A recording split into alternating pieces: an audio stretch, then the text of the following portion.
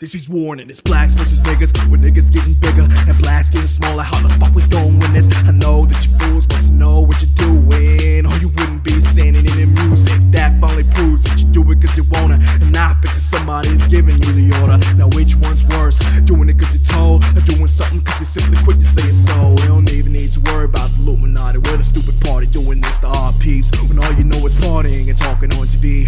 It don't make sense to tell your to be, how not to be deep buying jewelry and disrespecting women cause your man is awfully weak. The true definition of an ignorant nigga showing out for his peers cause he struggles to be different and he acts out to get accepted by his friends and turn rejecting everything inside himself, including his potential.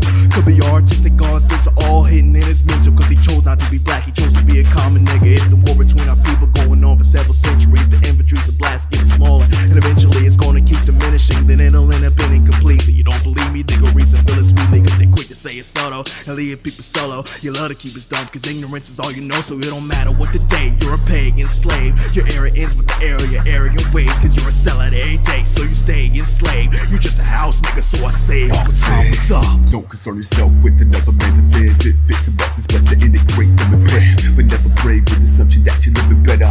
Pray to rhythm of the pain that they weather and never been demonstrating dignity for gold. School him with wise words to enlighten his soul. Tell him of what matters and what doesn't at all. And if he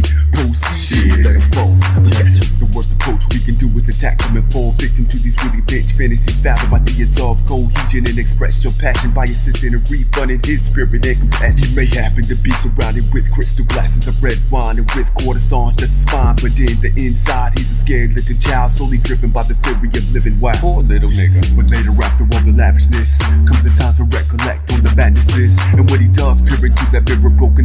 Somebody's gotta help him in reclaiming his soul. Because you're quick to say it's solo and Reclaiming leave his people soul. solo. You love to keep it stuck cause ignorance is Reclaiming all his you know, so it don't matter what the day. You're a pagan slave. Your era ends in the era, your arrogant ways, cause you're a seller every day, so you stay enslaved. You're just a house nigga, so I say, Uncle Tom, what's up? You say it's all for bucks? Re- reclaiming his soul. Reclaiming his soul staying subtle. Leave people solo.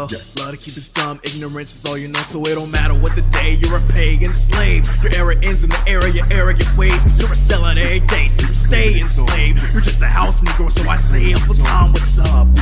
It is so.